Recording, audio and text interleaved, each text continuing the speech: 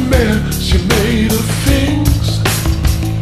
I'm trying to reconstruct the air and all that brings. And oxidation is the compromise you own. But this is beginning to feel like the